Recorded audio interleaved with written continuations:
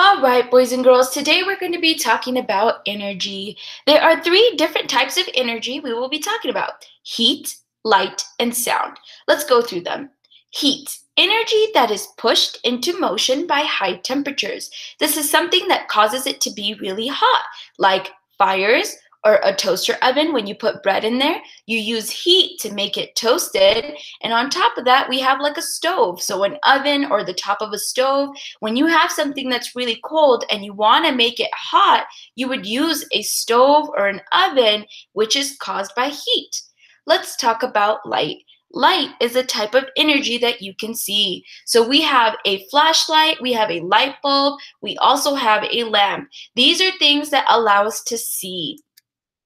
Sound. Sound is created when objects vibrate. You can usually hear a sound. That's how you know that this is the sound energy. It is created by vibrating sound waves. So if you saw something like this, instruments, those are considered to be sound energy. A whistle or even a motorcycle, you could also hear a sound when a motorcycle is going. So what we're going to do is we're going to determine if the images use light, heat, or sound, okay?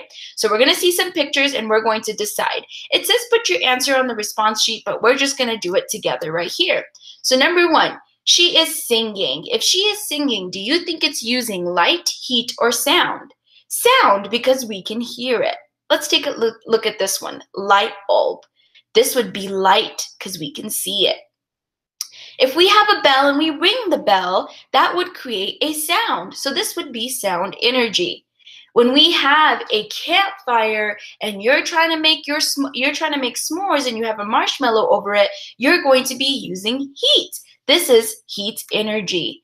Let's take a look at lightning. Now, some of you guys might say lightning has two types of energy, which is true. It could also be heat energy or it could be light energy. The way it could be light is when you see lightning, it creates light. It's something you can see. How is it heat energy? Well, when lightning strikes sometimes, and if it hits a tree, sometimes it could spark a fire. So lightning has heat in it.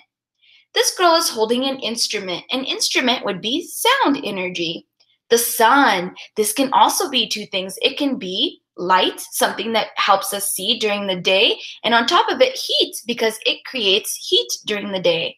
A flashlight, that would also be a light energy. It allows us to see.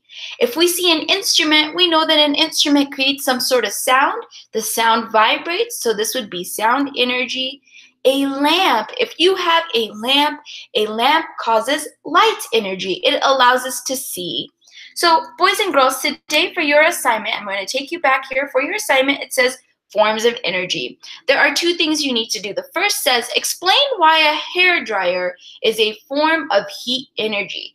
How is a hair dryer heat energy. So first thing you're going to do is you're going to type your name and then you're going to type your answer. It could just be one sentence, something that tells me, how do you know that a hair dryer is heat energy and not light or sound? The second thing that you're going to do, it says forms of energy assessment. Right here it says write the form of energy for each object below. So what you're going to do, it says a light bulb. You have a word bank, heat, light, or sound. If it's light bulb, which form of energy would it be? Yeah, it would be light. So I would type my answer here. You're going to have to erase this part and then write lights. And that would be the way you do it. If you have any questions on the assignment today, please let me know. I might add some extra links for you to look at on BrainPop Junior if you want to learn more about heat, light, and sound. Otherwise, you may get started on your assignment.